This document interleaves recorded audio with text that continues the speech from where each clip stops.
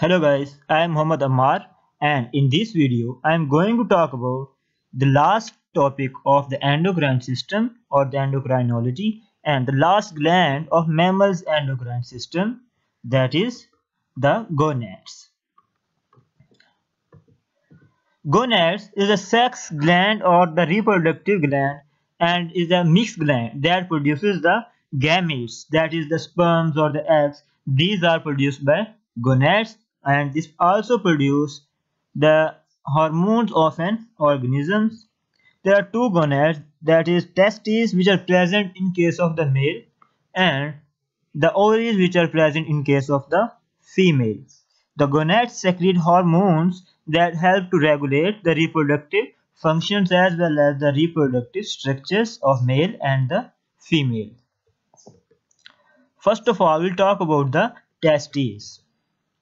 The testes are the structure or the organs which are covered in the scrotum. These produce the hormones that are the testosterone and the inhibin. The testosterone act with the LH and the follicle stimulating hormones that is the FSH and which are produced by the adenohypophysis and this helps to stimulate the spermatogenesis. So the process of spermatogenesis that is the production of the sperm is regulated by the action of testosterone with LH and FSH hormones.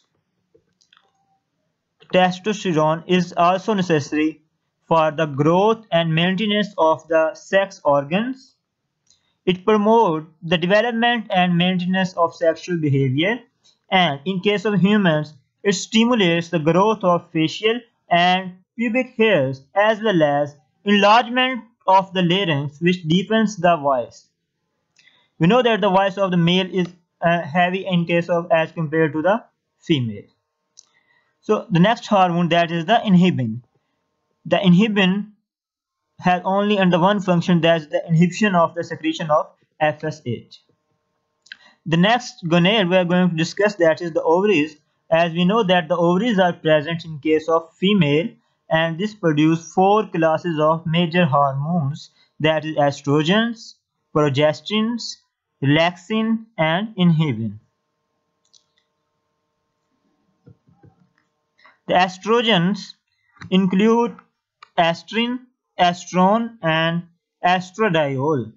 These are the estrogens and help regulate the menstrual and the estrous cycle and the development of the mammary gland and the female scanty sexual characters. All these functions are maintained and regulated by the estrogens that is estrin, estrone or the estradiol.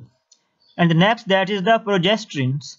It may include primarily the progesterone. Progesterone hormones regulate the menstrual and the estrous cycle and the development of the mammary glands and it aids in the placenta formation during the pregnancy. So estrogens help to regulate the menstrual and estrous cycle and it helps to maintain uh, the development of the mammary glands and it aids or help in the formation of the placenta during the pregnancy.